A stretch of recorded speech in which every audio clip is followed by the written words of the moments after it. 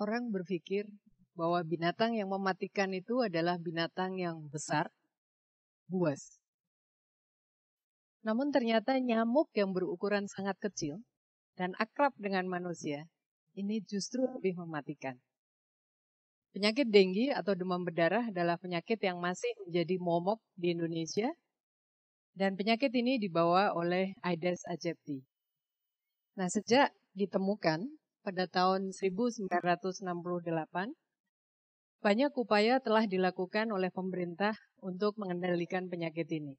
Mulai dari pemberantasan sarang nyamuk, kemudian fogging, pembasmian jentik nyamuk, dan banyak upaya lainnya lagi. Namun demam berdarah ini memang kompleks. Dan untuk itu dibutuhkan banyak inovasi. Teknologi yang kami gunakan adalah bakteri alami Wolbachia. Cantik bukan namanya? Secantik itu juga potensinya. Nah, bakteri Wolbachia ini ada di 70% tangga liar di sekitar kita. Ada kupu-kupu, ngengat, lalat buah, dan serangga lainnya. Cara kerja bakteri ini menarik, yaitu pada fungsi perkembangbiakan di serangga yang ditumpanginya. Pada jantan yang mengandung Wolbachia, kalau kawin dengan betina yang tidak mengandung Wolbachia, maka telurnya tidak menetas. Sebaliknya, kalau jantan tidak mengandung Wolbachia, betina mengandung Wolbachia, maka telurnya semuanya akan menetas berwolbachia. Demikian juga kalau dua-duanya jantan betina berwolbachia, maka seluruh telurnya akan mengandung wolbachia. Nah, sayangnya wolbachia ini tidak ada pada Aedes aegypti. Nah, penelitian di Laboratorium Monash University Australia ini mencoba memasukkan bakteri Wolbachia ke dalam telur nyamuk Aedes aegypti.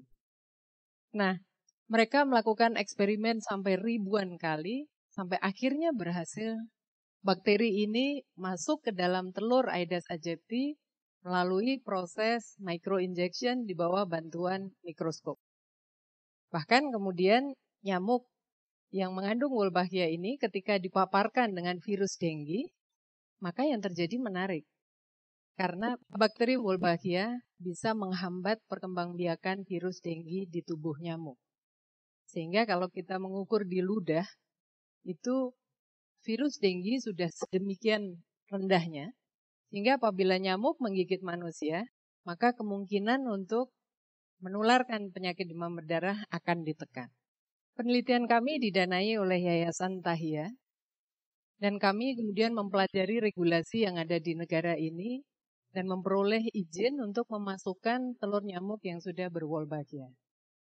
Di insektari kami di Universitas Gajah Mada, tim entomolog bekerja dengan sangat keras, dengan penuh kesabaran, ketelitian, kemudian mengawinkan nyamuk Aedes aegypti berwolbachia dengan nyamuk setempat, nyamuk lokal. Sampai dihasilkan beberapa generasi penerusnya. Kami mempelajari juga um, sebetulnya berapa banyak nyamuk yang ada di lapangan, kemudian jenisnya apa saja. Nah, caranya kami menyebar ini yang disebut dengan biji trap atau perangkap nyamuk. Kami letakkan di rumah-rumah penduduk tentunya yang sudah setuju untuk ketempatan biji trap ini. Dan kemudian tiap minggu kami mengkoleksi nyamuk ini dan kami bawa ke laboratorium dilihat satu persatu nyamuknya nyamuk apa. Dan memang Aedes aegypti adalah dominan. Nah, lingkaran biru yang Bapak Ibu lihat ini uh, semakin besar lingkarannya, itu artinya semakin banyak jumlah nyamuk Aedes aegypti. Tahapan penelitian kami selanjutnya adalah menyebarkan nyamuk ini di masyarakat. Ibaratnya kami ini penelitiannya melawan nyamuk dengan menyebarkan nyamuk melawan nyamuk Aedes aegypti yang membawa denggi dengan menyebarkan nyamuk Aedes aegypti yang sudah berwolbachia. Ini sebagai contoh di wilayah Gereja. Ini wilayah perkotaan. Um, di sana lurahnya itu sangat bersemangat, wanita yang hebat. Akan tetapi dinamika masyarakat kota juga um, sangat berbeda. Kadang-kadang untuk menemui keluarganya saja sudah sangat sulit. Kami harus datang malam hari, baru Sabtu atau Minggu bisa bertemu. Dan juga di wilayah ini ketika uh, kami akan meletakkan telur yang pertama kali, itu saat itu kasus denggi sedang banyak terjadi. Nah ini ilustrasi saja berbagai tantangan yang uh, kami hadapi di masyarakat.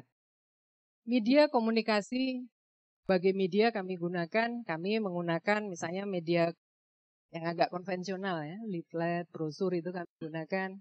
Kami berteman dengan para jurnalis, bloggers, dan juga kemudian kami menggunakan pitpaganda. Jadi ini adalah propaganda dengan bersepeda. Jadi mereka kemudian bersepeda mengelilingi sebuah wilayah dan kemudian sering kali mereka membawakan berbagai kuis, berbagai permainan yang membawa masyarakat untuk memahami tentang penelitian ini. Nah, apa yang terjadi kalau masyarakat keberatan? Sebagai tim peneliti, kami tentu tidak dapat memaksakan ketika kami akan melepaskan telur pada saat di mana kasus demam berdarah sedang banyak. Dan ini terjadi. Jadi sekalipun kita mungkin bisa saja ya meyakinkan berargumentasi bahwa ini nggak apa-apa kok, ini nyamuk baik kok, gitu ya. Tetapi saya kira sebagai peneliti juga kita harus menunjukkan kepekaan yang tinggi akan situasi yang dihadapi oleh masyarakat.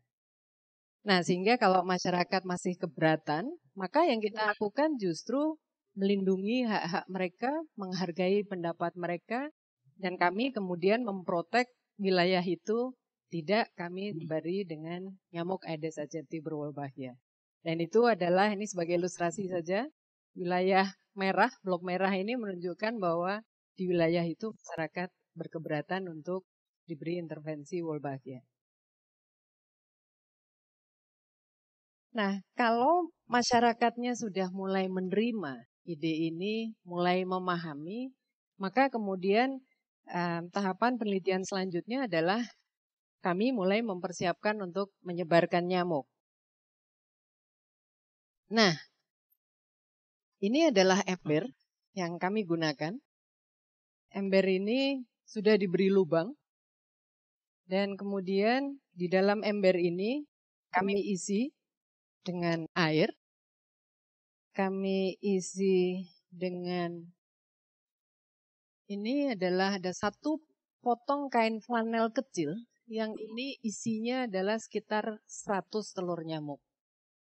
Jadi kita cukup mengambil satu potong kain kecil flanel ini, kita masukkan di sini.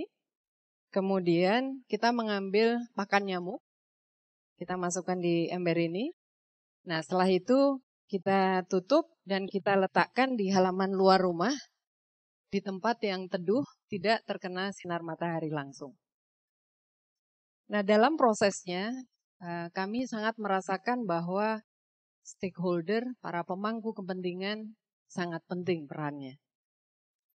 Gubernur, Sultan, Wakil Gubernur, Kepala Dinas Kesehatan Provinsi, ini sangat menjadi panutan masyarakat di Yogyakarta. Nah, sehingga um, tanpa kepercayaan mereka, saya yakin mustahil penelitian seperti ini bisa dilakukan. Nah, setelah kami mulai meletakkan ember-ember ini, kemudian yang kami lakukan adalah kami memantau bagaimana perkembangan nyamuknya, bagaimana perkembangan penyakitnya, dan bagaimana eh, respon dari masyarakatnya. Ini berbagai aktivitas di masyarakat ini kita gunakan kesempatannya untuk berinteraksi, menanyakan apakah ada keluhan, apakah ada pertanyaan-pertanyaan, dan mungkin akan masukan dari masyarakat.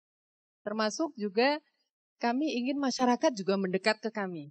Jadi bukan hanya kami yang mendekat ke masyarakat.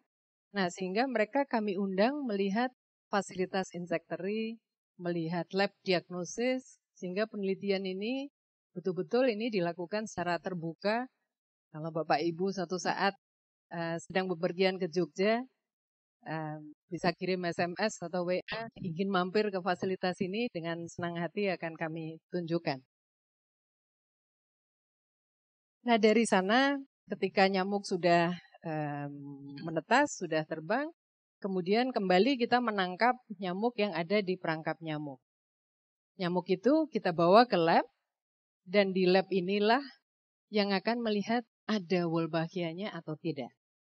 Ya, jadi satu persatu juga kembali mereka melihat pada nyamuk itu. Sampai kemudian kita bisa membuat gambar seperti ini. Jadi ini sebagai ilustrasi, ini adalah peletakan telur selama 12 minggu yang kami lakukan di salah satu wilayah di Bantul. Pada akhir minggu ke-12, Bapak Ibu bisa melihat bahwa hampir 80% nyamuk di wilayah setempat sudah mengandung Wolbachia. Setelah itu kemudian peletakan kita stop kami tidak melakukan peletakan nyamuk lagi, tetapi kami terus memantau secara periodik dan saat, saat ini sudah hampir dua tahun sejak kami pertama kali meletakkan telur di sana. Hasilnya Bapak Ibu dapat melihat Wolbachia bisa berkembang biak secara alami dan bisa bertahan di populasi nyamuk di wilayah itu. Sampai dengan saat ini, ini malah yang berwarna hijau ini dari desa Singosaren, ini hampir 100% nyamuk sudah mengandung Wolbachia. Penelitian ini tidak berhenti di sini. Karena tujuan akhir kami adalah untuk melihat bagaimana teknologi ini mampu menurunkan kasus demam berdarah.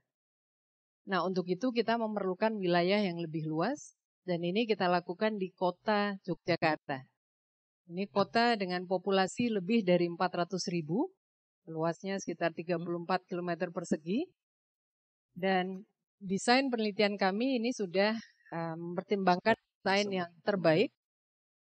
Dengan desain tersebut kami memiliki wilayah-wilayah yang akan disebari nyamuk Wolbachia dan wilayah-wilayah yang tidak disebari nyamuk Wolbachia seluruh wilayah akan tetap melaksanakan program pengendalian demam berdarah seperti yang dilakukan oleh pemerintah.